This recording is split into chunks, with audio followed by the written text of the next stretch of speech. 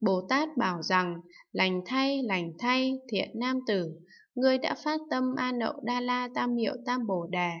Thiện nam tử, ta đã thành tựu môn giải thoát, Bồ Tát Đại Bi Hạnh.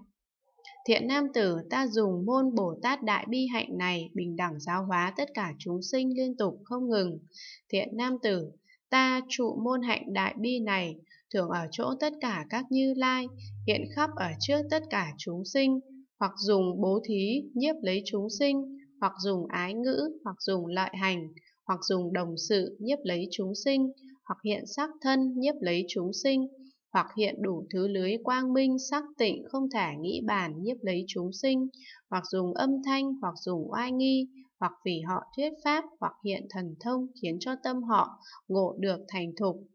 hoặc vì họ hóa hiện thân đồng loại, cùng ở với họ mà khiến cho họ thành thục. Thiện nam tử ta tu hành môn hạnh đại bi này, nguyện thưởng cứu hộ tất cả chúng sinh, nguyện tất cả chúng sinh lìa sợ đường hiểm, lìa sợ nhiệt não, lìa sợ mê hoặc, lìa sợ trói buộc, lìa sợ giết hại, lìa sợ bần cùng, lìa sợ chẳng sống, lìa sợ tên ác,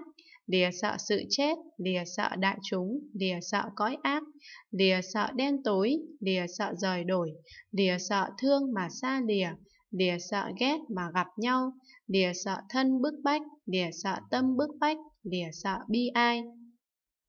Lại nguyện như vậy, nguyện các chúng sinh nếu nhớ tới ta, nếu gọi tên ta, nếu thấy thân ta, thì đều được lìa khỏi tất cả sự sợ hãi.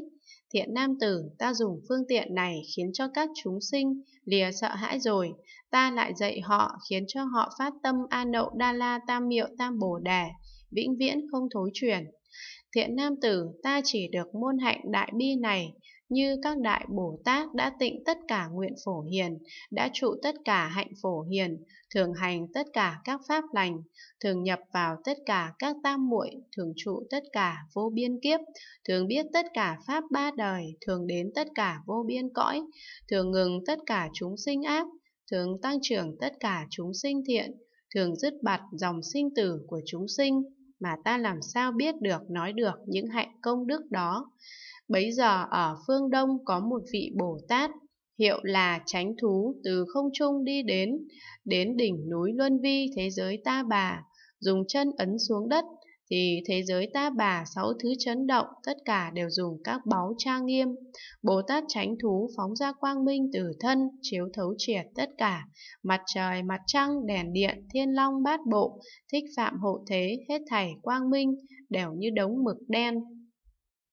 Quang minh đó chiếu đến khắp tất cả địa ngục súc sinh ngạ quỷ, chỗ diêm la vương, khiến cho khổ các đường ác đều tiêu diệt, phiền não chẳng khởi, sầu lo đều lìa. Lại ở trong tất cả cõi nước chư Phật, khắp mưa xuống tất cả hương hoa, anh lạc, y phục, tràng lọng, hết thảy các đồ trang nghiêm như vậy, đều dâng lên cúng dường Đức Phật lại tùy tâm ưa thích của chúng sinh mà hiện thân khắp trong tất cả các cung điện, khiến cho họ thấy được đều hoan hỉ, sau đó đi đến chỗ Bồ Tát Quán Tự Tại. Bấy giờ Bồ Tát Quán Tự Tại bảo thiện tài rằng, thiện nam tử, ngươi có thấy Bồ Tát tránh thú đến hội này chăng? Thiện tài bạch rằng, dạ con đã thấy, Bồ Tát Quán Tự Tại nói rằng, thiện nam tử, ngươi hãy đi đến đó hỏi, Bồ Tát làm thế nào học Bồ Tát hạnh, tu Bồ Tát đạo.